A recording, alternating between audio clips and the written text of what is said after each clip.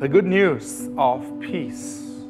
Romans 10, verse 15. And how shall they preach unless they are sent, as it is written? How beautiful are the feet of those who preach the gospel of peace, who bring glad tidings of good things.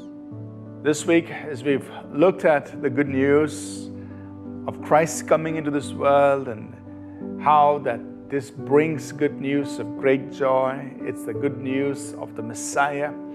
Uh, it's the good news of salvation. It's the good news of uh, Jesus Christ coming into this world.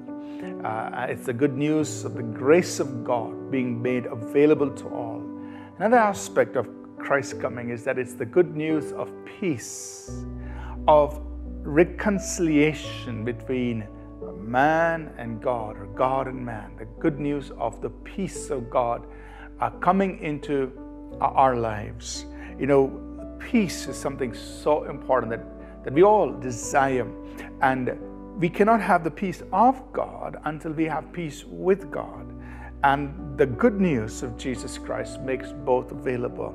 It brings us into peace with God so that you and I can then walk in the peace of God. The good news of peace. And uh, Jesus put it this way He said, In the world you will have tribulation, uh, but I'm leaving you with my peace. Peace which the world can't give. It's the peace that uh, that the Bible says in, in Philipp, Paul writes in Philippians 4, it's a peace that, that surpasses understanding. It, go, it goes beyond understanding Eh, the peace which the Lord Jesus Christ gave. So, although there is tribulation and all of those things in the world, things that actually serve to disturb our peace, are robbers of peace, because we have peace with God, we can walk in the peace of God. And that's the good news.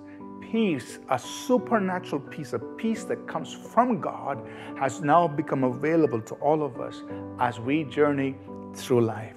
The good news of peace. The good news of peace, very interestingly, is also part of the, the believer's armor, as Paul writes in Ephesians 6, that we have our feet shod with the gospel of peace, with the good news of peace. So, can you imagine your, your footwear itself? He says that's the good news of peace. Your good news of peace is like the, the, the Roman soldier's footwear. Of course, that footwear was not any ordinary footwear, it was a footwear that had the capacity to crush the enemy, uh, that enabled the soldier to advance against the enemy. So, walking in this good news of peace, this walking in the peace of God, really enables us to walk in dominion over the enemy. It's interesting that Paul writes, he says that the God of peace will crush Satan underneath your feet. God imparting peace into our lives, enabling us to walk victorious over the circumstances and even over the enemy. This is the good news of peace. When you walk in the peace of God, you walk surmounting the circumstances, walk victorious over the enemy. You are undefeatable. You are uh, you walk as an overcomer. You walk as a conqueror. And you walk in the good news of peace that God makes available. So let's thank Him for that peace the peace that is beyond all understanding that you and I can walk in, that has been made available to us because of Christ's coming into this world. Father, we thank you for the peace of God that keeps our hearts and mind in Jesus Christ, the peace that surpasses understanding.